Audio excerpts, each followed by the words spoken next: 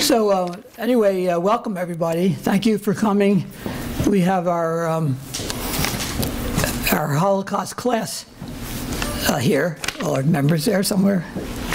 And we, um, I know there's some community people other, from the college as well as from um, the community. So it's always exciting and it's also being taped. So uh, you'll go out there in the whole world, or at least this part of the world, this part of the world. Anyway, we uh, want to uh, first of all say that this program is being sponsored by the Honors Program. Tom Grady, director, we really appreciate his support, and also, where did I put that? The Multicultural Committee, which um, Bob Rezendes, I think, was here. I don't know if he's, uh, and Farah Habib, who are the directors. so they are the um, sort of sponsors, along with uh, the course that uh, Dr. Tinberg and I teach, uh, Remembering the Holocaust in Literature and History. Get that name right. Um, which we've been doing for 10 years. And uh, we're, we do have a series of programs which we are offering, this being the uh, first uh, for, to the community. Just mentioned before I forget that April 10th at 2 o'clock uh, in H210, which is right around the corner, we will be having another program on uh, trauma, survival trauma, by two psychiatrists from Harvard Medical School. So any of you who are interested, uh, please come to that as well. Well, we are really honored today to have a, um, a speaker who is uh, well versed in this subject, to say the least, Dr. Myrna Goldenberg, who um, comes from uh, Maryland by way of Brattleboro and Deerfield recently. She's a, a, traveler in the East. But anyway, Dr. Goldenberg is a professor emerita uh, at Montgomery College. I mean, he's recently retired, but certainly very active, um, which is in Maryland, outside of uh, D.C. She's the uh, founder and former director of the Peck Humanities Institute, which is located at the college. Um, during the 2005-2006 academic year, she was the Distinguished Visiting Scholar of Holocaust Studies at Stockton State College in New Jersey. She's also taught at uh, Johns Hopkins University, University of Maryland. Um, she uh, has presented all over the world, actually, on these subjects. She's also the editor and contributor to a number of books. I'll just mention a couple books. One is uh, Experience and Expression, Women, the Nazis, and the Holocaust, Teaching the Testimonies, Tension and Tikkun, Teaching the Holocaust in Colleges and Universities. and then this book that just came out, Different Horrors, Same Hell, Gender and the Holocaust. Any of you are interested, this is, looks like a great book. Just came out in 2013, right? Last month. Last month, so University of Washington Press. Um, she's also, I looked at her um, resume, many pages, and she's written many, many articles on this subject, uh, a couple of which uh, our students have read. So um, we are very happy to have her. Um, I first heard her at a conference that I went to last October in the, uh, which was the 25th anniversary of the LeFrak Holocaust Education Conference, which is at Seton Hill University, uh, a Catholic university, which is part of the, actually, the National Catholic Holocaust Education um, Conference, which tells you something about the fact that the church, among other, have been trying to deal with this subject for many years and have done a good job. So uh, with all of that said, um, here's Dr. Goldenberg. Thank you.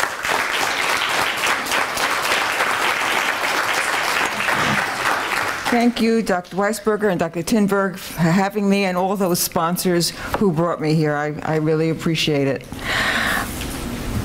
Now, I'm going to do something I've never done before, which is present without my glasses. I can see, but let's just hope I, I left my glasses in somebody's office, so that's the way it is.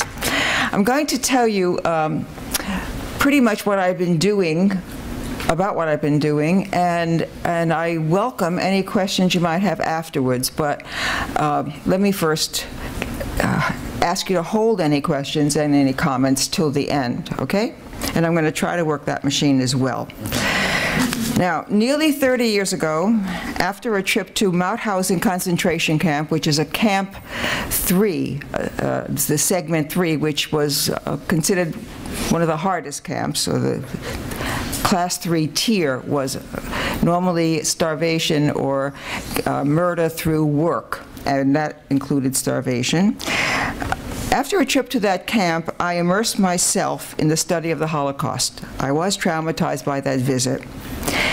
Before too long, I concentrated on women in the Holocaust, and doing that because I combined my previous work on women's studies with the work on the Holocaust. So that's how I came to women and the Holocaust, independently and then a merger. My research gave me insight into the bonding process between women, and I've devoted my more recent research to exploring three specific areas the differences in the way men and women prisoners cope with hunger, that's one. The issue of sexual violence, and it's uh, heavy in that book uh, that you, you just held up. And in a brand new turn for me, the subject of Jewish women's expression of their Holocaust experiences through poetry and the visual arts, which is pretty much untouched. So, to the microphone a little bit. There. Okay? Yes. Oh, it's got an echo. Okay. So I'm going to share my findings about hunger and sexual violence and then move on to the arts, uh, which is in this emerging field, as I just said. I also want to clarify that we have finally moved away from the controversy of whether we should include gender in our study of the Holocaust. 15 years ago, in 1998, Gabriel Schoenfeld, the editor of Commentary magazine, published an article blasting gender-related studies of the Holocaust, and he accused about a half a dozen of us of pushing a feminist agenda. And he argued that such a focus would dilute the issue of anti-Semitism as it influenced Nazism. Now, to my knowledge, no one has ever claimed that the Nazis privileged gender over anti-Semitism, or that anti-Semitism was not the major reason for the Holocaust. All Jews were targeted, but men and women and babies were treated differently by the Nazis. Hence, different horrors, same hell. Schoenfeld was wrong, and he apologized, to me at least, for misquoting me and decontextualizing my comments. Ironically, his attack in Commentary magazine, which has a pretty good circulation, raised the consciousness of and attracted many male and female scholars to gender study. So he's probably kicking himself. To summarize my earlier work on hunger, we can conclude that there were differences in the, way, in the ways in which men and women reacted to hunger. Both sexes were starved equally, and they talked incessantly about their hunger. In fact, I just read some articles about, uh, some statistics about Mauthausen, the camp that I was at, that I visited many years ago in the early 1980s, and that's a, it's built on a granite quarry, and there are 186 steps that each prisoner had to climb down to the quarry and then carry back up on their shoulders 100 to 150 pounds of granite. And they did that on a diet of 600 to 1,000 calories a day. Now that is impossible, and most of them died either by being pushed over the edge of the quarry, which was you know way down, or else starving to death or exposed in this very cold way, very cold weather. So they were starved and they talked about hunger. Every single survivor talks about that in, in her or his memoir. In women's memoirs, though, hunger often evoked a response rooted in the imagination, situated in the kitchen, and remembered through socialization. By that I mean, women recalled meals and recipes and shared them with their barrack mates. This simple act of exchanging recipes or teaching someone to cook was and is an expression of hope for the future. You don't teach anything if you don't anticipate a future. So unconsciously, they were more optimistic than they might otherwise have been. We unconsciously assume a future, assume a future when we teach what we know to one another and to the next generation. I don't know what that's doing, and uh, just ignore it for a while. These sessions of recipe sharing were positive reactions to a negative situation an absolute negative evil situation. Interestingly, though, since most Jew European Jewish women at that time, and I probably more than just Europe, probably worldwide, lived in multi-generational families. Those in the camps, those women who managed to get into the camps, rather than being gassed before they could be registered for camp, probably had done little or no cooking. Their mothers or their grandmothers probably did the cooking in the pre-deportation days, and it's likely that these older women were already gassed by the Nazis before they were in, into the barracks. Uh, anyone who looked older than 40 gassed on arrival. So uh, these were the women who knew how to cook, but the food talk came from the next generation.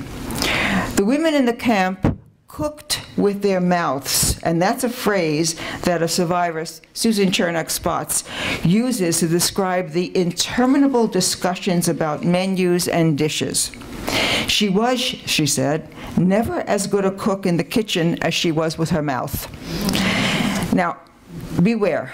I would not recommend that you ever try to follow the recipes that were collected from the camps, because essentially, these are women who didn't cook, who were trying to outdo some, the next person who said, no, we used a quarter of a pound of raisins, oh no, we used a quarter of a pound of something else, of currants and so on it was all in their imagination. There was very seldom were they the people who did the cooking. So the recipes have to be approached with some skepticism.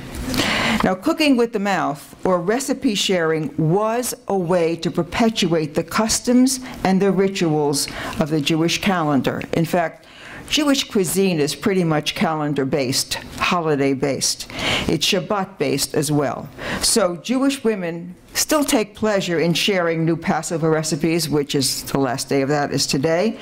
And it breaks the monotony tomorrow. It depends, it depends, it depends. Okay, if you follow the Israeli calendar or the European American calendar. Um, sharing a new Passover recipe breaks the monotony of generations and years and decades of the same old recipes, no matter how luscious and delicious and welcome they are. But in the camps, learning how to prepare something called a tzimmus, which is really a, a mess, um, a mixture, okay? Uh, or chopped liver, or gefilte fish, or kugel, which is Yiddish for pudding, for the, gefilte fishes for the Seder, not only transmitted a practical knowledge about Jewish customs, but also celebrated the Jewish religion. Now think of the irony there. They're in the camp because the Jews are supposed to be annihilated, and here they are, getting some, some uh, interest in living through remembering the calendar, through remembering the Jewish calendar. But even more, a recipe normally honored a murdered rel relative, a woman, a grandmother, even a mother, who had been gassed already, or starved to death, or murdered some other way. And it kept the memory of her life alive because it was Tante Sarah's um, apple cake, or or Bubby's, which is grandmother in, in Yiddish, um, chicken soup. So it kept alive the memory of a woman who was already dead. And in doing so, you don't really die. You live on somehow. We share these recipes that we learn from someone else. So the memory is kept alive. These discussions also reminded women of their importance in the family not as the pigs and the vermin that the SS said they were, but as independent and contributing members of a community, even uh, a family community.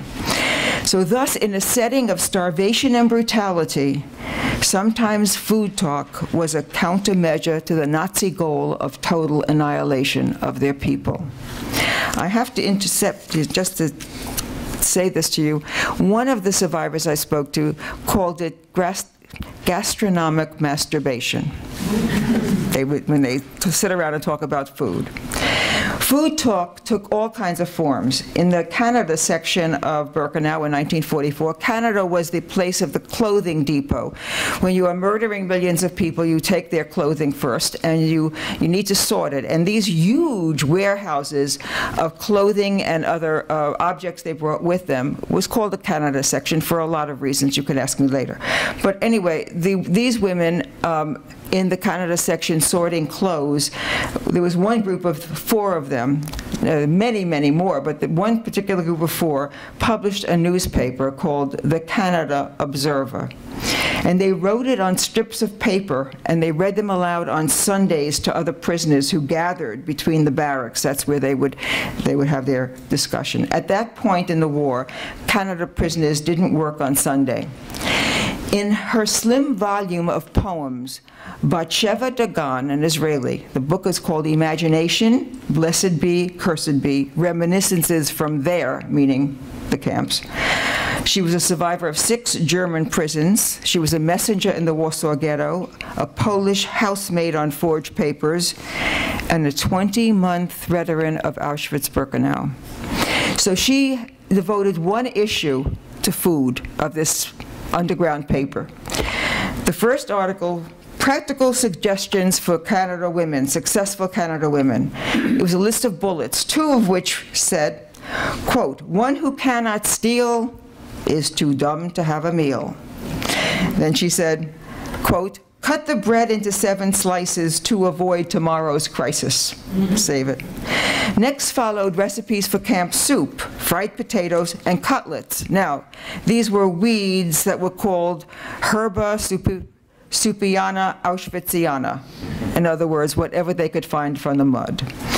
Pudding and meat, which begins with first take a microscope, position the lens, and search carefully.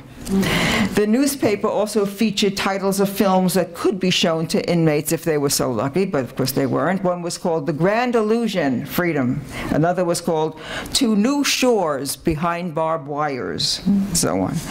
Newspapers, no matter how humorous or tongue-in-cheek, could not satisfy hunger. But such diversions created a distraction from the fear of starving to death, which was an ever-present fear. For some, food talk could have been an act of heroic resistance, a refusal to despair or become dehumanized. Now, in men's memoirs, hunger was rooted in the stomach and in memory rather than the imagination, evoking meals in a state of freedom. Men spoke and wrote about their hunger and distress and con confessed their willingness to do just about anything to alleviate that hunger. Thus, for them, the men, starvation was a manifestation of Nazi power and their hunger was proof of their vulnerability, their dependency, and their loss of status as breadwinners and heads of family. So it had a tremendously demoralizing effect. In his book, Viktor Frankl says in Man's Search for Meaning that I quote, the desire for food was the most, was the major primitive instinct around which mental life was centered. He went on to say that the subject of discussion was favorite dishes, and the prisoners would exchange recipes, these are the men prisoners, and plan the menu for the day they would have a reunion. And they would go on and on, picturing it in detail. Now, Frankl's reference to recipes is very rare. Very few men have, make reference, they talk about their hunger, but they don't talk about recipes. For the most part, men's memoirs do not have exchanges of recipes. Ironically, though, Frankl protests and told the men in his barracks that such talk was dangerous. And he said, in quotes, it afforded momentary psychological relief, but it was unhealthy in that it was an illusion, which physiolog physiologically surely must not be without danger. So here Frankl betrays a perspective acutely ignorant of the depths of the impact of food talk on women's identity and community. Food talk helped women create community. Men were more likely to bond over uh, religious rituals, common languages, and origins. Like women, they bonded, and they also created surrogate families camp sisters, I mean, well, camp brothers, camp fathers, but not nearly to the same extent as we find in women's memoirs. And when you talk to a woman survivor, inevitably she'll say, it was my camp sister or my camp mother who made the difference in my survival. In other words, when they were left without their family, they created surrogate families. Now, and men did not attribute, uh, in none of the books, really, except Primo Levi's survival in Auschwitz, does anyone, uh, does a man attribute his survival to another person? Levi, if you remember, talks about getting an apple from somebody and how that helped him through those years, those months. Now, it is reasonable to attribute their different coping skills, men's and women's, to their socialization. This is not genetics. In traditional European Jewish homes in the first half of the 20th century, women were more responsible for food preparation than men were. Women lived in what was called the private or domestic sphere. And under conditions of extreme, extraordinary stress, as in the camps, they spoke about what they knew or thought they knew or thought they should know, which was about food.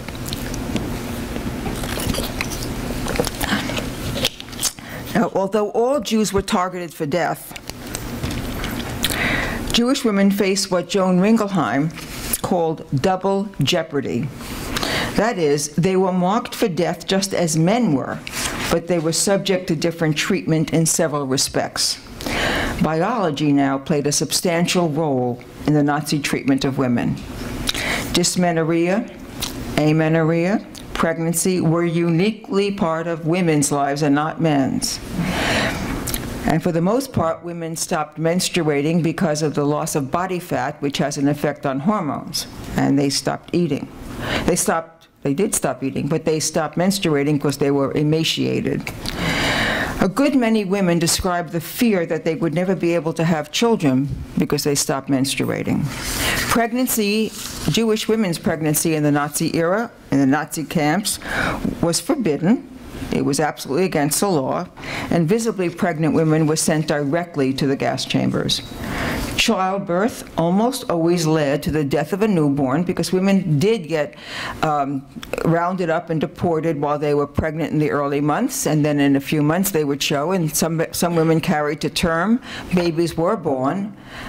Most of the time the babies had to be drowned. Most of the times the babies died. I mean, you just they, you could not keep a baby alive in a barracks. And it meant, if you kept the baby alive, that the mother would also go to the gas chamber. Um, Mengele, the infamous Dr. Mengele, said that he wouldn't be so heartless as to send an infant to the gas chamber without its mother. So he would send them both where women's physiology also made them vulnerable to rape and other forms of sexual violence, in spite of the fact that any contact between an Aryan male, a German male, and a Jewish female, or between an Aryan female and a Jewish male was forbidden by law. The 1935, among the 1935 Nuremberg, Nuremberg laws was one that forbade race mixing, or in German, Rassenschande. It was called the Law for the Protection of German Honor and Blood. It was felt that this law would prevent racial impurity, it would preserve racial purity, because the contamination of Aryan blood with a Jewish woman or fluids from a, from a Jew would pollute the Aryan race for generations. And Jews were the chief pollutants. Hitler identified them, likened them to vermin, to bacilli, so they were the cause of contagion and contamination. The law was stern and often led to death of the perpetrator. By 1945, it was one of the 43 crimes in Nazi Germany that called for the death penalty, but it was intermittently carried out. Certainly in the case between an Aryan woman and a Jewish man, the man was tried and almost always found guilty. and executed. One famous case, the case of Leo Katzenberger, who was an elderly Jewish businessman in Nuremberg, was portrayed in the 1961 film Judgment at Nuremberg. And if you ever can get a chance to see that, I recommend it highly. It is a graphic movie. It was the first time that Hollywood used films from the Germans, from the Nazi era documentaries, films taken by the Nazis, so proud of the work they were doing, used in a Hollywood movie. And it was the first time that any kind of documentary film was integrated into a Hollywood movie. Judgment at Nuremberg. So this was this case was portrayed in this movie. Um, Katzenberger was accused of seducing Irene Seiler, a young woman played by Judy Garland, when in actuality, he was responding to her father's request to give help to her, uh, getting her settled in a photography business. The case was salacious.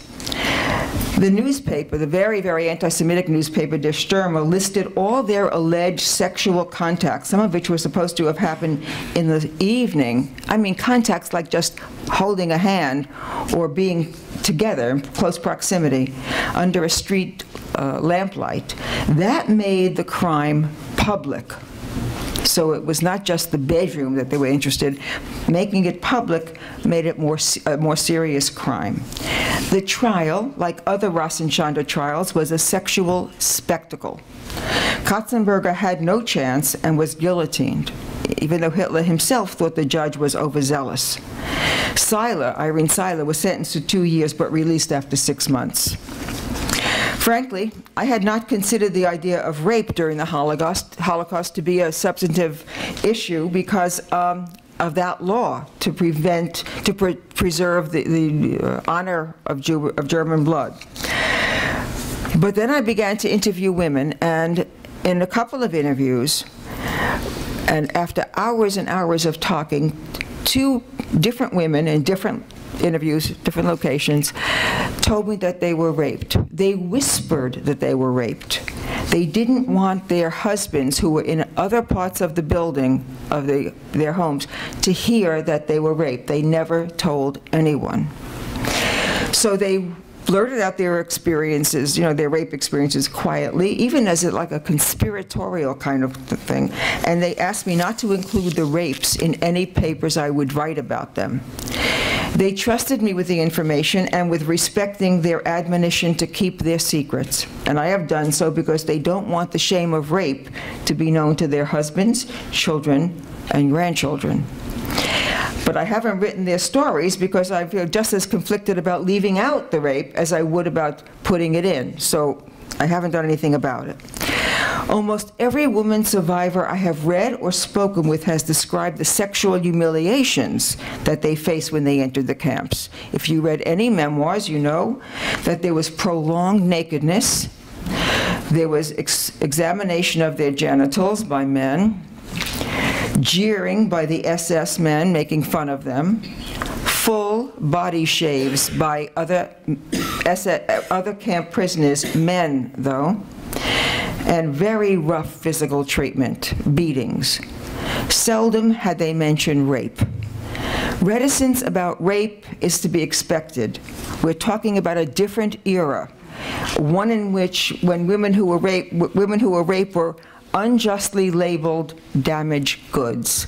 And these survivors who were raped internalized that kind of a label. And to the days I spoke to them, both of them are dead now. I still can't write their stories because I can't do so and include the rape. I have to respect their memories.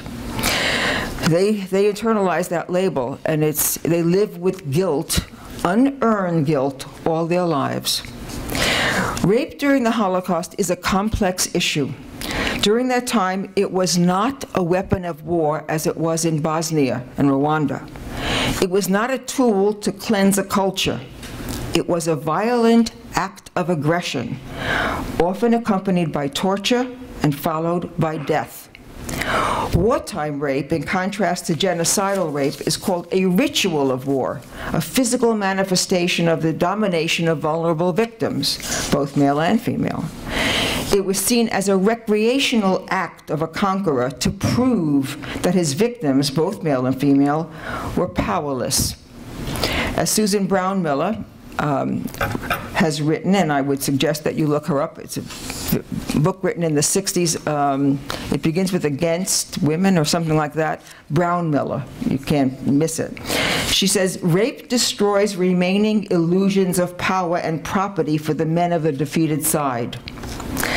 The body of a raped woman becomes a ceremonial battleground, a parade ground for the victor's trooping of the colors vivid proof of the victory of one for one and the loss and defeat for the other. So just consider the rape of Nanking in 1937 and 8, and the rape of thousands of women by the Russians in 1945. Something like, you know, 80% of the women were raped when the Russians came through. And even the rape of Northern European women by the Allies after D-Day. But rape during the Holocaust had a profoundly demeaning and useless dimension. During the Holocaust, the Nazis dominated the Jews. There was no ambiguity. The implementation of the final solution was evidence of Nazi physical and political superiority. Rape and other acts of sexual violence were redundant tools of terror and dominance, but not a crime in and of itself. The crime, on the other hand, was race mixing, pollution of the Aryan bloodline. That was a serious crime. We can speculate about what motivated these rapists and sexual torturers and why Rassenschande was not an effective deterrent, and it wasn't. Even many scholars had assumed that Rassenschande precluded the possibility of rape until evidence proved otherwise. But it is still hard to get many, I have to say, male scholars to believe that rape occurred, even though there's evidence to the contrary. Rape occurred in the ghettos and in the camps, uh, everywhere uh, during the Third Reich, but most conspicuously in the eastern provinces. The further away from Berlin, the more rape you had. As the four Einsatzgruppen squads, you know, the murder squads that went through uh, eastern, west, eastern Poland, western Russia, um, in eastern Poland and former Soviet Union, they virtually ritualized the death process of Jewish women. Jewish women were stripped publicly, raped in the presence of their family, and then murdered. No victim, no crime. Okay?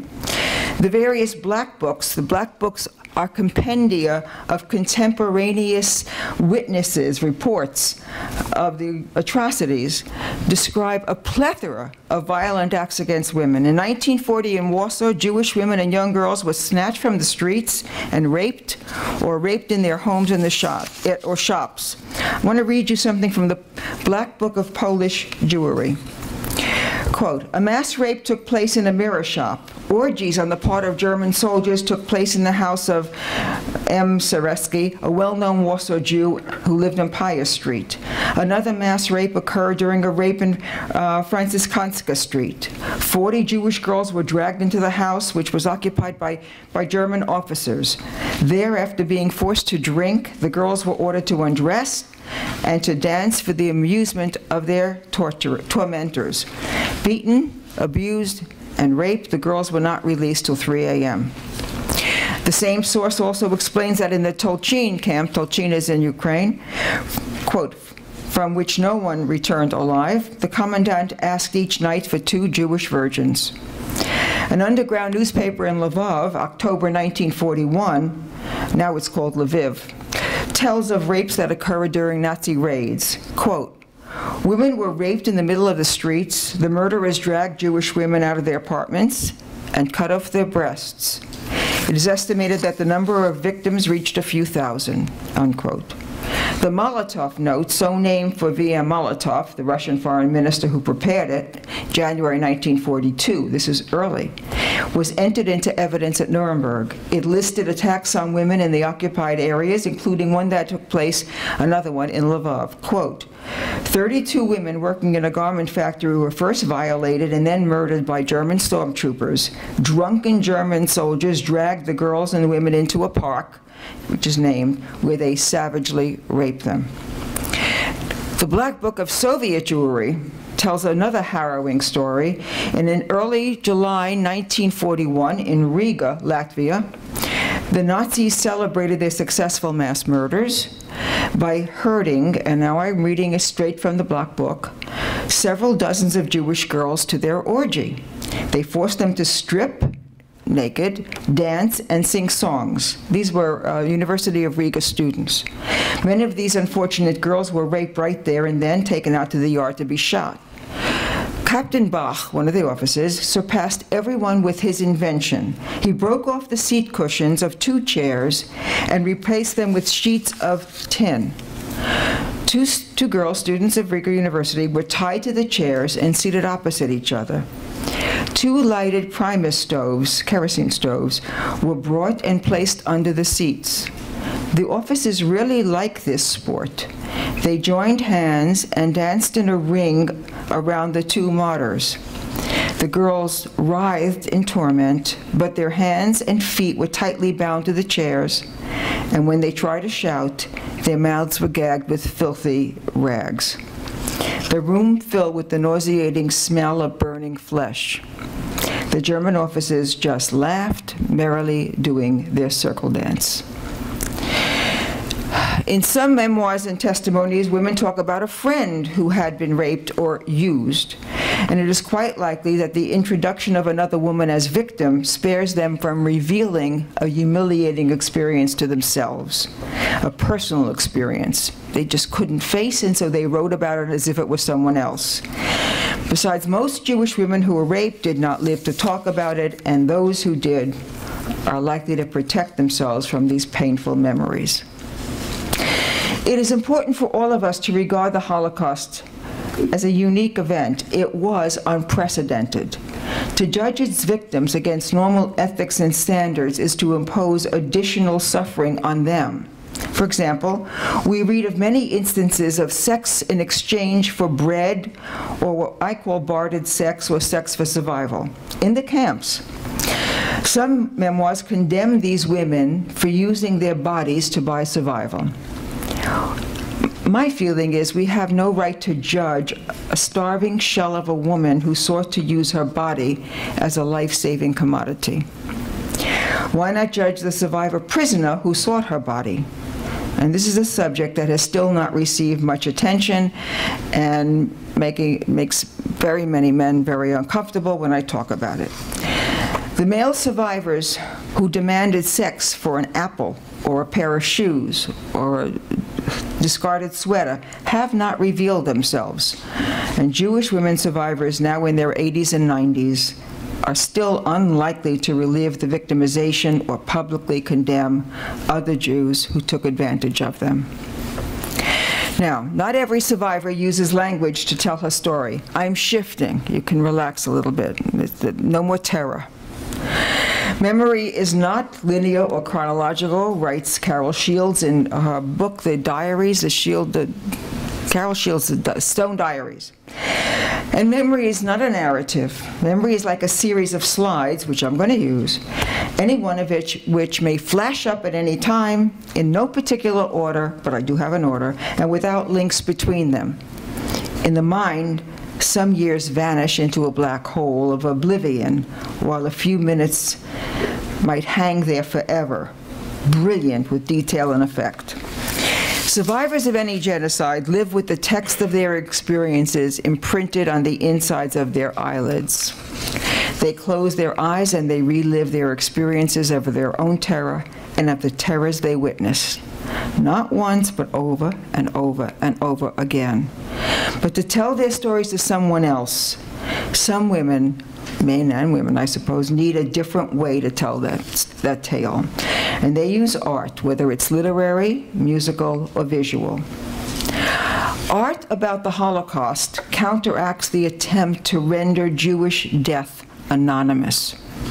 And that art as we witness it, makes us secondary witnesses. In the process, we acquire two types of memories those of the survivors and those of our own responses to the survivor's art. To paraphrase Adam Zych, who was a poet and compiler of a book called the Auschwitz poem, Poems, art enabled one to survive, not in the biological sense, but in the psychological sense, because it helped preserve self-esteem.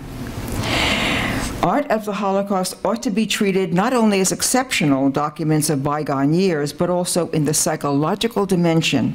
Literature and the arts in the world of collapsing values aroused faith in fellow humans and in the salvation of human ideals.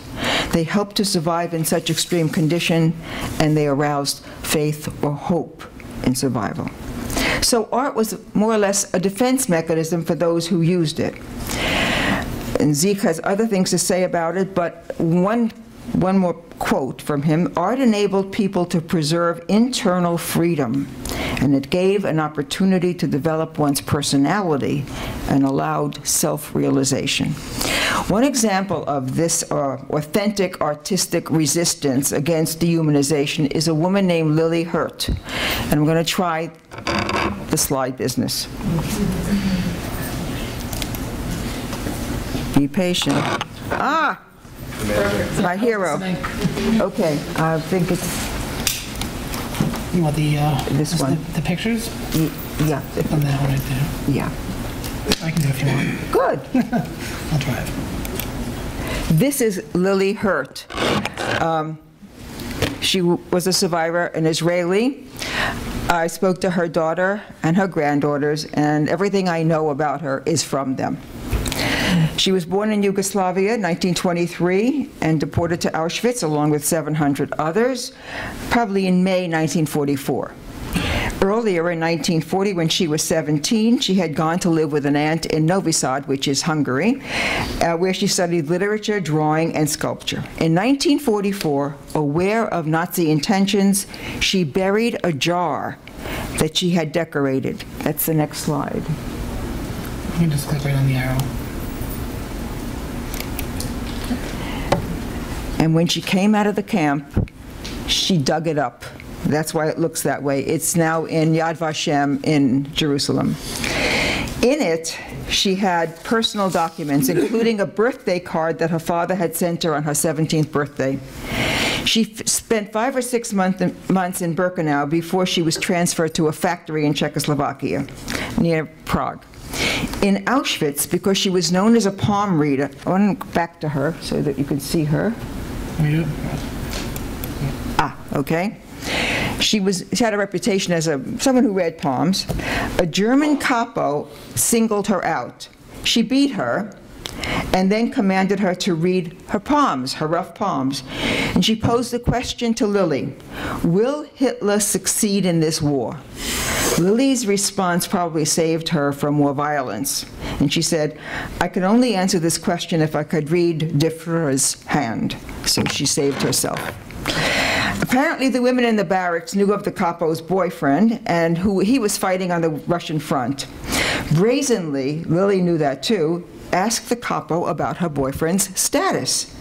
According to Lily's daughter, Daniela, the capo's face softened, and the next morning she gave Lily a waiver from work and from roll calls, which could last four to six hours, starting at four in the morning in any weather, and asked her to illustrate her love letters to her boyfriend.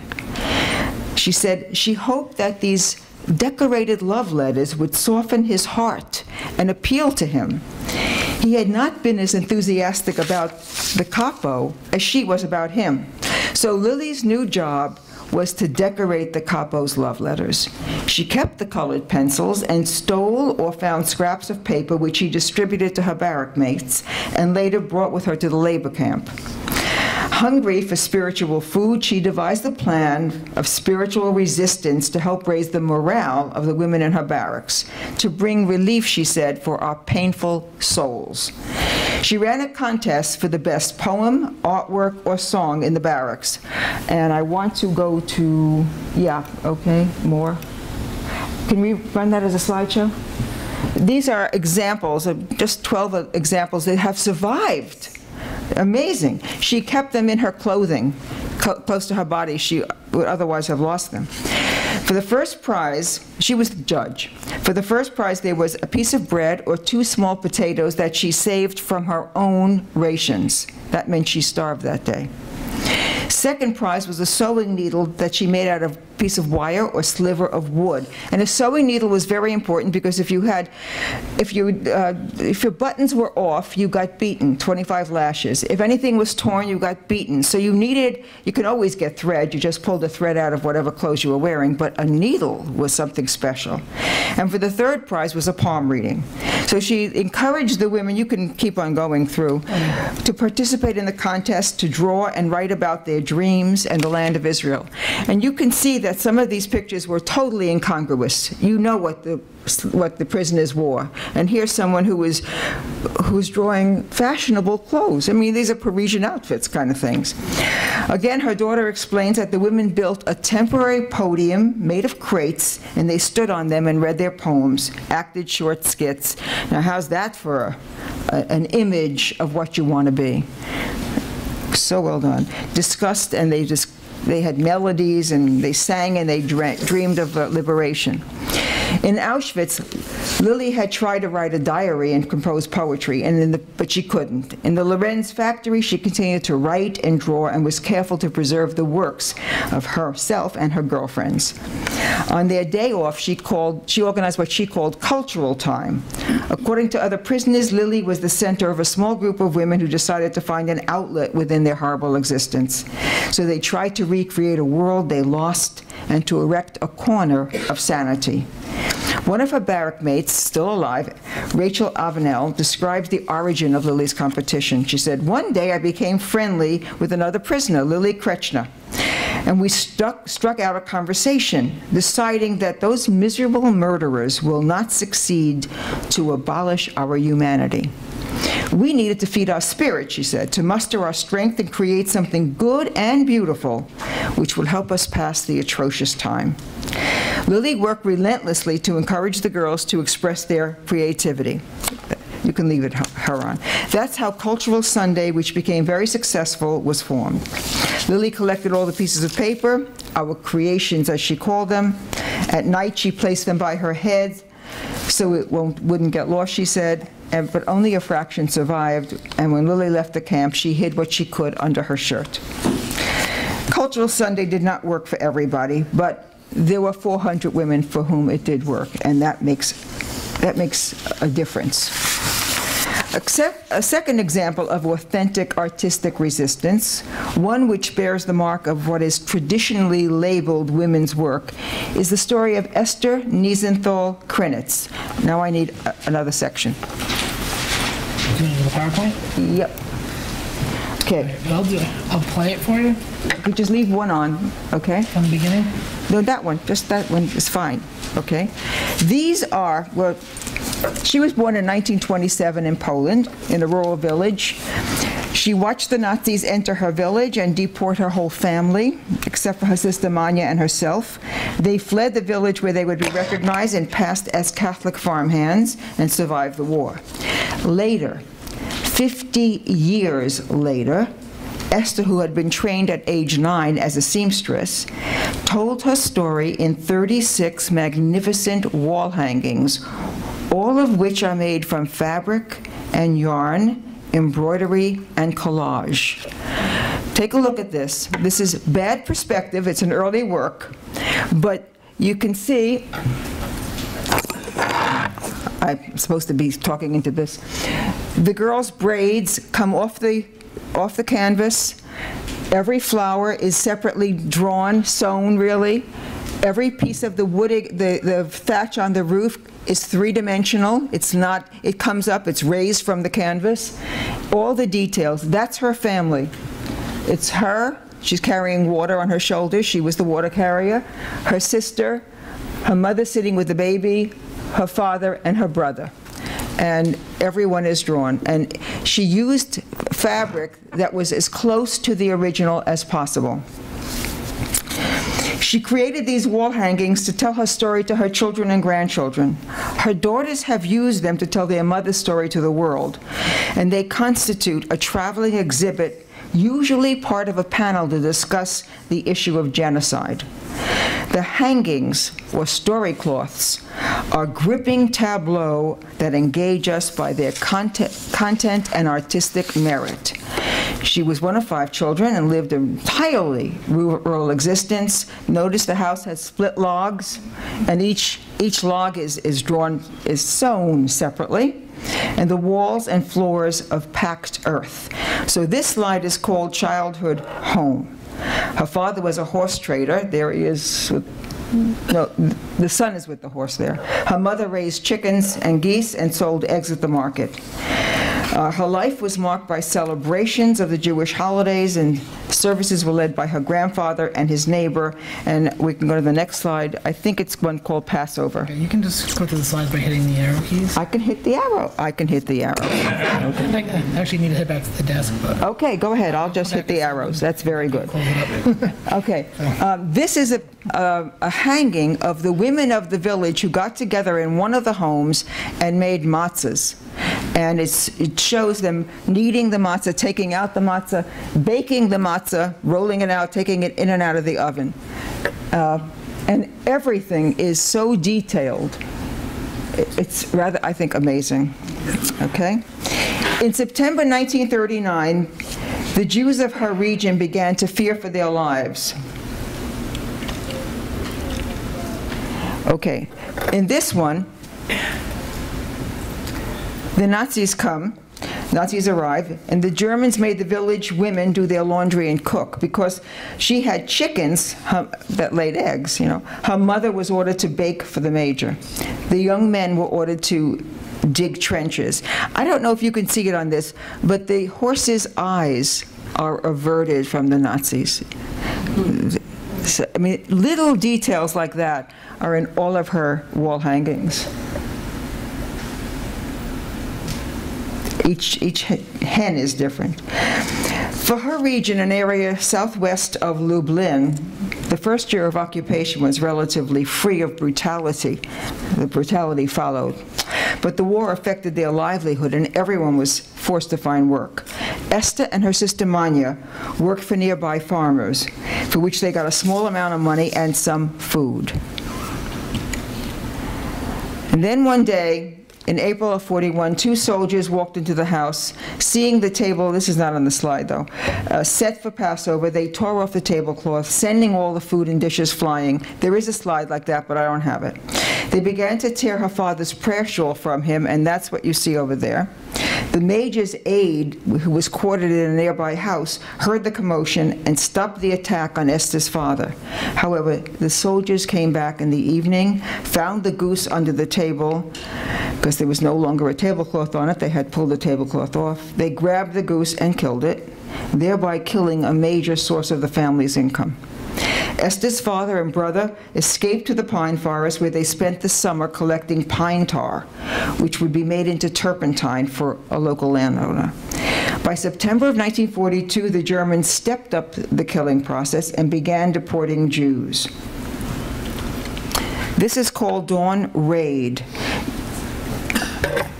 You can't read it, but underneath each uh, story cloth, she embroidered the caption. You could read the caption right underneath there. As a, you can't, but you can in person, okay? The house was raided again. They fled to the fields, returning later in the day to an already ransacked house, and just in time to find the soldiers entering their yard. They scattered and much later returned home. Here they're in their night clothes. And the neighbors are watching scattered. They, this is the mother and Esther, her sister, and the younger, the youngest sister. Look at the wheat. Look at these fields. Every single stem, every single grain is separately you know, sewn on this. It's a very busy, busy, busy uh, wall hanging. And you have the, the grain is so high, they come above her clothes. She's in the grain. She's in the field. And so it's like a, you know, double layer. This is one of my favorites because of all the intense work. The mother's shawl has fringes which come right out of the canvas. So that's fleeing across the fields. On October 15, 1942, the family was ordered to leave and join all the other Jews on the way to the railroad station, which is uh, deportation. And that's where they were all on their way to the field. And it's called We Will All Perish. The Jews were told to take only money and jewelry. Esther was determined not to go to the railroad station, and she and her 10-year-old sister Manya fled to a non-Jewish home, a family uh, that was a, a, a friend of the family. Stefan, I don't know if I have that slide. No, I don't. Stefan hid them for two days, and then he told them that they they had to leave because they were endangering his family. So they escaped to the forest. And at that point, Esther told her sister, we have different personas. We're different people now. She was Josephine or Josiah, and Manya became Maria or Marisha. She instructed her sister never to speak Yiddish again. And they made their way from town to town, fleeing each time they were asked for identity papers. They ran to the woods every time they were asked, and they realized if they were found there, they would certainly be taken for Jews. So they fled to a town a little bit further away where they got jobs as farmhands with two different farmers. Now, this is interesting. She was tending the flowers. Notice there are beehives in the back. For some reason, the Nazi soldiers attracted the bees. And she said, The bees saved me. She's pretending not to notice them. They kept coming over to her, but the bees were swarming around the Nazis. And finally, they had to, the Nazis had to leave because they were getting, getting beat, bitten up. But notice here she's with, these are probably tomato plants right here. And these are lupines. All the flowers are separate, distinct, and native to where she was. She had more close calls until July 1944 when Russian infantry in, marched into the village and they were liberated. But before she was liberated, after she was liberated, she went to her house, which was now occupied by someone else, and then she went to the closest concentration camp, which was Majdanek, to look for her family. And of course, there was no one. And so she joined the Polish army. But if you notice, look at the cabbages in the fields way in the back. Tho- those are growing on the ashes of dead Jews, and they are enormous. Well, I've been there. It's very fertile. By March 1945, her Polish unit, army unit, crossed the river into Germany, and the Russians had hanged Nazi officers on every tree along the road. A scene that was depicted in one of her wall hangings. I'm not sure I can find it, but I have it. So, oh no, hold on. No, I don't have it. So this one is. No, here we are. Um, Finally, they, she went, she was taken to a DP camp. She and Manya were reunited, and they each married men, they, survivors, that they met in the DP camp. And then eventually, they came to America, and this is the only slide that has a clear blue sky. She's um, being carried by her father, and her aunt came on deck to greet them. So she was born in a DP camp, the daughter was born in a DP camp, and saw America that way. And Esther told her daughter Bernice that coming to America meant that she'd never be persecuted again for being Jewish. This is all put into a book called Memories of Survival by the daughters. Uh, in Esther's work, I see memory, art, and resistance. She waited years to narrate her story, using her talent to evoke her past. She defied the odds twice, once by surviving Hitler's grip and again by using fabric art, story cloths, which is a non-traditional woman's art, to narrate her memoirs. Her pictures are as strong as her determination to survive. They reflect a variety of simple and complicated techniques, each stitch as distinct excuse me, as distinct as each episode in her life during those terrible years. They are compositions that reveal not just specific losses, but also triumphs of will and humanity. I would use much of my time, or all of my, could have used all of my time, and I could keep you to 7 o'clock if I listed the books that have emerged from projects on women in the Holocaust, especially by feminist scholars, male and female feminist scholars. Our work has changed the field of Holocaust studies, and equally important, has influenced the study of genocide. No longer do researchers ignore the issue of women's victimhood or even women perpetrators in the acts of genocide. Finally, and it is finally, it is clear that there are millions of stories, six million, which ended tra tragically and will always be missing. Indeed, in all of the testimonies, written, painted, or sewn, the recurring themes are violence, absence, and loss.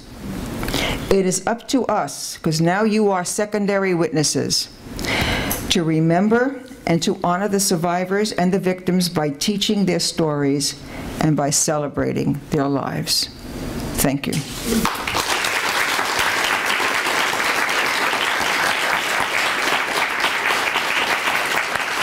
Thank you. Thank you very much. Thank you. Um, you have some questions? Yeah, I will answer questions for as long as you ask them. Yes. Why was the Canada Papers, Sorry? the Canada Papers? Why was the name Canada? Oh, Canada. Okay. These survivors were from Poland.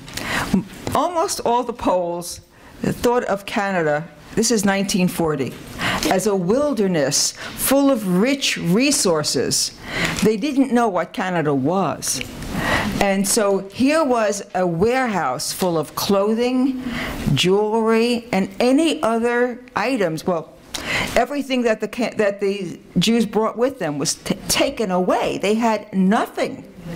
They were left naked. And so everything that they possessed, and they were told to take their good possessions with them when they were deported. Leave the junk behind, but take the good jewelry, take the good stuff. And so these were huge warehouses full of, of their, their treasures, the resources that the prisoners thought of as Canada full of wonderful resources. One camp, uh, I forgot the, which one, but I think it's Majdanek, has a huge, two huge barracks full of just shoes. And the shoes are sorted, men's and women's, and one barrack is all for children's shoes. And it's all dusty now and faded, but it's all there. Now, most of these were supposed to be taken, sent back to Germany for the um, Germans to use. And whatever could be used for the military for uniforms, like fur linings and so on, that was used for the military. So it was for the use by the German peoplehood. And it was, it was a treasure trove. Yeah. Yes. Um, much hasn't been done about the, the rape in camps. The rape? Yeah. Is that because um, German women was raped themselves by by Russian soldiers? There, the, much has been done about the rape by the Russians as they went through. They raped, we have examples of them raping children as old, as young as eight, and women as old as 80. And that, that tells you right away that rape is not a sexual crime, it's a violent crime. So, you know, carried out by sexual means. Nothing was done until very, very recently on the rape of Jewish women because it was believed that because it was against the law, a Nuremberg law, it wasn't done. A German man risked a lot, especially a soldier, if he was caught, because it was to be, because he had mixed his fluids with a contaminated woman. Contaminated meaning she was Jewish, and it would compromise and the word was pollute. It would pollute the German bloodline for at least six to eight generations. So he would be out of service. And I mean, Hitler wanted babies, but he wanted Aryan babies. So, uh, you know, that would be a terrible crime. It was a crime against the state to rape or to have any physical contact with a Jew. But rape was horrible. Yeah. That's what, that's what mine was on, when you said if she would sell her body for food. That was camp, that was prisoner to prisoner. Okay. okay? There was a contingent of male prisoners in every camp that did things like roofing, that a, a- a man would have a chance of surviving to some extent if he said, when they, when the Nazis rounded them up, who's the electrician, who's the roofer, who's the tailor, who's the... Now, we, we had a friend who was a violinist, and he knew that the Nazis did not need violinists. So when he was in camp, he raised his hand to be an electrician. He knew nothing about electricity, but he watched others. And it saved him to be an electrician. I mean, they don't need a violinist to build the roads, to drain the swamps. So these men had much more access to things around the camp. Uh, They even had access if there were weeds, because weeds are protein, and they could pull up weeds. Most of, most of the camps were mud. They were nothing but mud. And if you could get a weed, you had something to eat or something to trade. Um, If you got near the kitchen, you know, there was always stuff dumped out of the Nazi kitchens. So a half-eaten apple, a half-rotten potato, this was what they used to trade for sex. But they were prisoner to prisoner. And it angers me to this day very much, but that's beside the point. Yeah, and- Well, just uh, a a comment that I would have about that is that the very um, extraordinary, unusual circumstances, so it's, it's really hard to judge in a case like that, I think. Someone else had said to me um, in a gathering like this, someone else said, um, it allowed the men to feel human again, that they had something to give and get. And so it it helped the men with their identity. Yeah, there were two, two more things. I, I think, if I'm not, oh, that they did use musicians too, Now, there were musicians in Auschwitz, there were musicians in other camps. These were, uh, you've seen Playing for Time by Fania Fenelon. If you haven't, you should. Um, And it's also a book. I always recommend the book, but it's a good movie, uh, too. Um, it talks about the women's camp where they had an orchestra for the amusement of the Nazis and for playing as you went in and out of the camp. I mean, that was true sadism to have orchestras playing as you went to work to drain the swamps and, and work as a horse, really. Uh, but how many musicians do you need? You know, need more electricians. You, you know, you can always find a Jewish musician. You can't always find a Jewish electrician. So that was more important to have a trade than to have a skill, an, an art. Yes. Um, You mentioned earlier that it's still hard to get male scholars nowadays to admit that the rapes even happened. Why is that? Most male scholars are my age or older. My age, okay. Um, And they too were raised at a time when rape was not discussed. It's a different generation that you're in. You're not a, you're not, a woman who is raped is victimized. She's not damaged goods. But in those days, she was called damaged goods, even though it wasn't her fault. You, you have to put yourself back. Now, I was giving a paper on rape in Sarajevo a few years ago, and a guy came in. Um, th- now, these are people, my peers. These are all colleagues. These are, you know, not students. These are all Holocaust scholars. And a guy came in, a colleague I know, and he heard me talking about rape, and he stopped. And he said, "Wait, there was no rape. It was against the law." Well, since when does rape, a law against rape, ever, ever make a difference, you know? So um, people just didn't think about it because the law for the protection of German blood and honor was a Nuremberg law. That was, you know, those are very special laws, and, and, uh, and it was punishable by death. So uh, it was risky. But way out in the provinces, in Lvov, in Ukraine, and so on, in Minsk, and so on, it didn't get back to Berlin, and um, it was part of the killing process. Torturing Jewish women was part of the killing process. If any of you is interested, there's a book called The Holocaust by Bullets by a, a Father Patrick Desbois, D-E-S-B-O-I-S.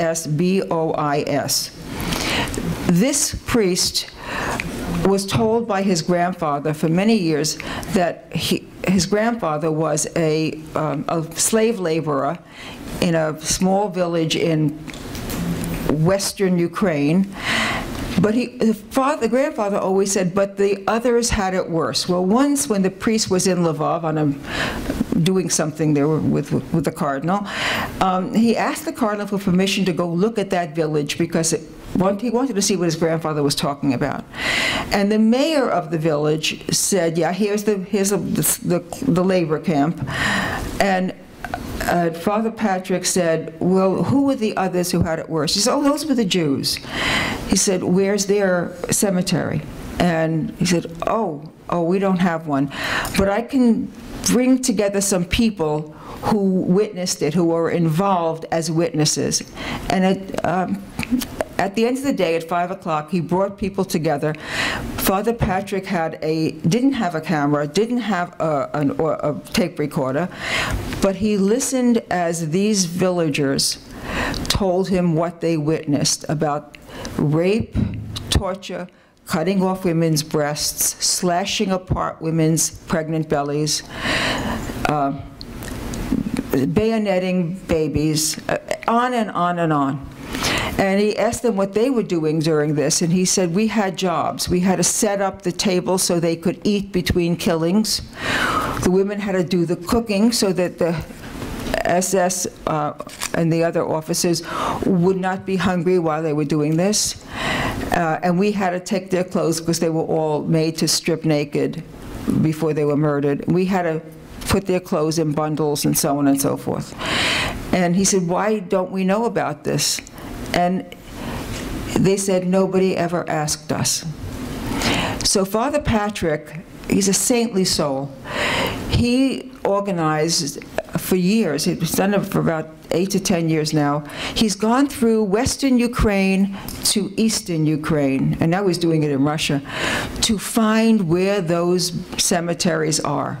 He can't label them as cemeteries because they would be grave robbers it kind of is ridiculous because they were naked and so on, but people would think that they had their rings on. No, they had to give up their rings, they had to give up their gold teeth and so on. So, he, he- but he has identified and he has mapped all these, all these cemeteries. Um, And in some cases, he has aerial photographs of the open graves that they have opened up. Um, He has taken with him a a metallurgist who brought, um, Neil, what do you call that? A metal detector, because they can determine where the mass graves are by the bullets, the shells. And from the shells, they can determine back to the records in Berlin which unit it was that did the murdering. Kind of an amazing thing. Um, So, I don't remember the question, but I thought I would just tell you. Here and then here. I have a question about sort of the the burden that you carry in your research, and that the generation of survivors is, you know, passing because of time, and yet you accrue these stories of uh, rape that are accompanied by either shame or a promise to keep as a secret Guilt, even. and guilt, and, and, and yet you want to honor and tell the truth.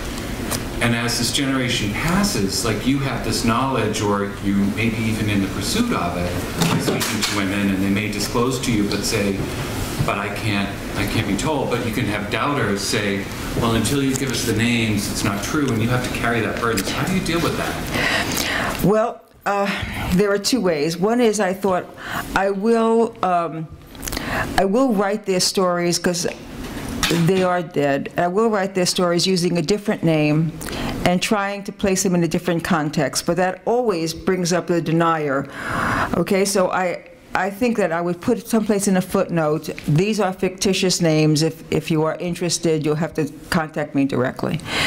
And I would be very, very, very um, careful about telling about it.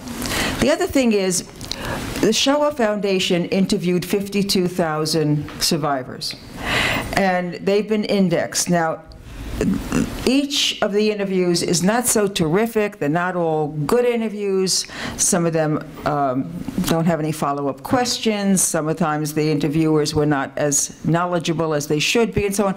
But they're in a collection of 52,000. There's a lot of information.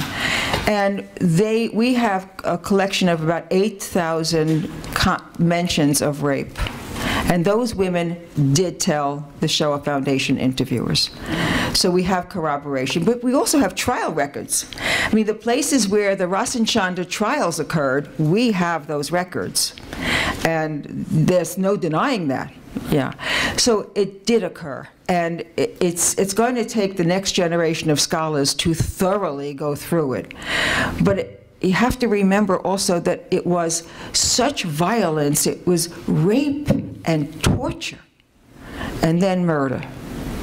And it was wholesale, whole villages. This gentleman first, this young man, It's a very hard subject for you to talk on. You've got to be a very beautiful, warm-hearted person to even talk about it.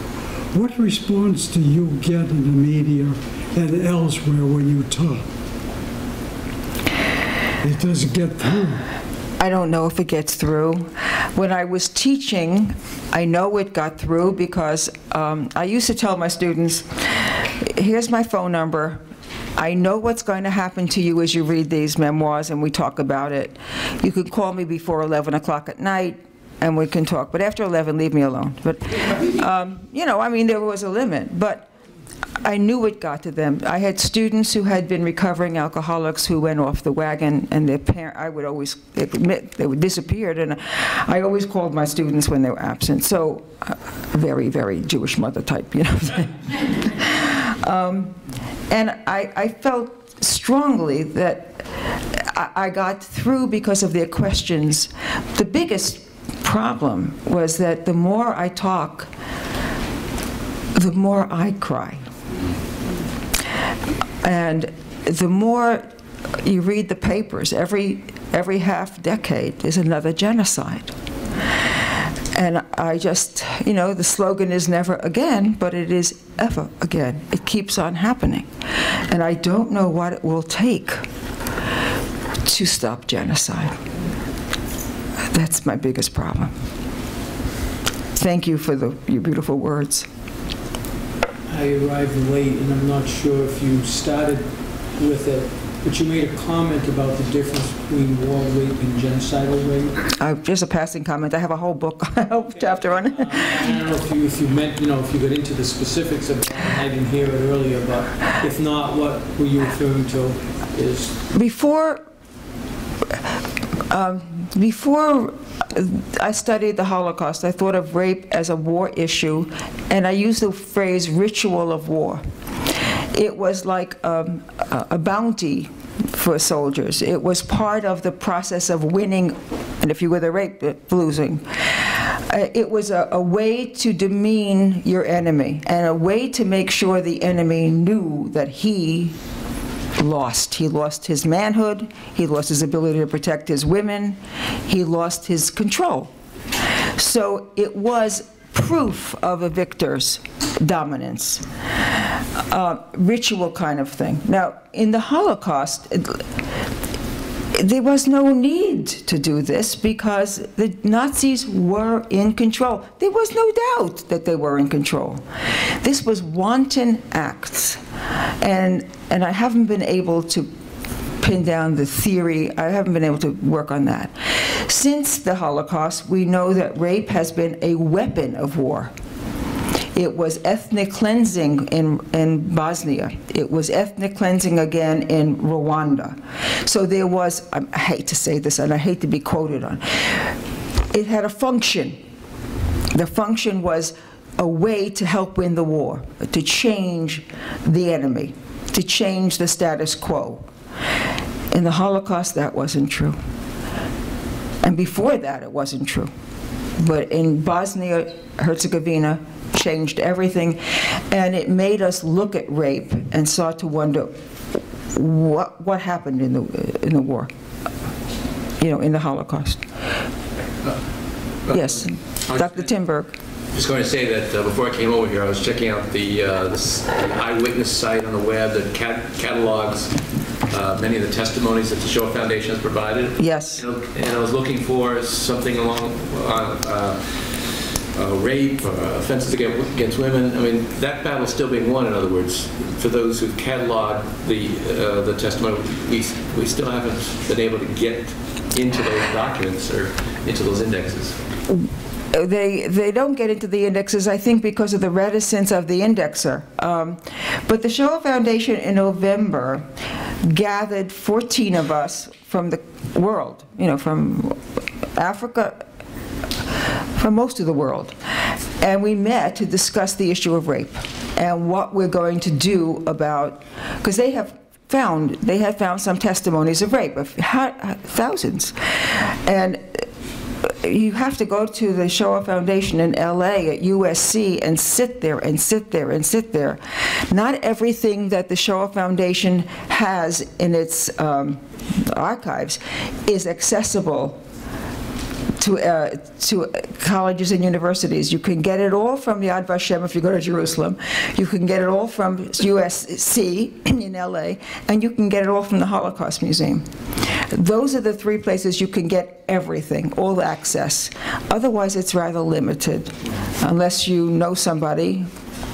And if you I once needed to find something out, and I happened to call the Shoah Foundation, and it happened to be um, the guy who answered was a childhood friend of one of my children, and he remembered me, and he said, "Whatever you want, I remember your cookies," you know that kind of thing, and and he sent me what I needed, and I sent it back, you know. So yeah, yes, Neil, I'm calling on my husband because he has his hand up. Then I will get. To, You want to comment about the Russian archives? Yes, I should. There's so much to talk about. In 1989, with the end of the Soviet Union, um, the Russians' archives, you, the Holocaust Museum in, in Washington, got in touch with, contacted the archivists, the appropriate archivists in, uh, in Moscow, to look at the materials, the files that um, the Russians confiscated on their way from east to west, because the Russians got into Berlin first, and they all along Poland, the Russians got in there, and, and the Russians, the Germans could not uh, um, could could not burn all of their records at once. So the Russians picked up millions of files, millions, and they were stuck in Moscow, unindexed, untranslated, on anything, and the U.S. Holocaust Memorial Museum and Yad Vashem, mainly the museum here in Washington, um, struck a deal. They would combine materials, they would give them access. The Holocaust Museum in Washington would give access to the Russian uh, scholars if the Russian scholars would give us access. And Yad Vashem got access to both. And so this will, these are millions, millions of archives, uh, millions of files, because as I said, the, the Russians got there first. Uh, we got Western Germany, and that mean, meant there was more time for the Germans to burn their, their records, but the Russians came in like gangbusters, you know, except around Warsaw. Take a drink of water. Oh, thank you. I I knew, it helps. I think uh, we have one more question, because she has to speak at seven. And Our yeah, our you class is going to be meeting after this, so, In You- our classroom, right? in our classroom, right? You, Yes, um, you mentioned a while ago that um, Hitler was after the um, Aryan, pure German blood. And um, yet today we find there are groups in, in, in- places like Germany that still practice this, this thing. And um, what you say is there is a, a lack of teaching about the Holocaust or a lack of um, educators that knows a lot about the Holocaust is the reason why you still find people in certain parts of the world still practicing this sort of thing. May I say that it's not, it- it's not for uh, lack of knowledge or lack of access to information that makes deniers deny the Holocaust. And the neo-Nazis are neo-Nazis because they want to be. Um, And they are just against anyone they decide is inferior. And that's, there is not, you, there is no way that you can make a denier into a believer if he or she does not want to be. I I have to say that. There are bigoted, idiotic, nasty people, and it's, it's hard for me to say that, but I have to face it. I have to face it. The only way we can make it we can mitigate against, mitigate it is by saying to anybody who makes a slur, no, I don't want to hear that, it's not true. If you speak up at the beginning, you sort of disarm those bigots. I mean, it puts yourself in jeopardy, it's not comfortable, but it's necessary. The only thing for evil to happen is for good people to do nothing or something like that. Yeah. And good people have to be good about saying, no, that's not true, and I don't want to hear anymore. It's something we have to teach our children. We have to be gutsy, we have to. One more question, because this young woman had a question. Well, I was just going to comment that um, the Aryan groups are largely based on ignorance.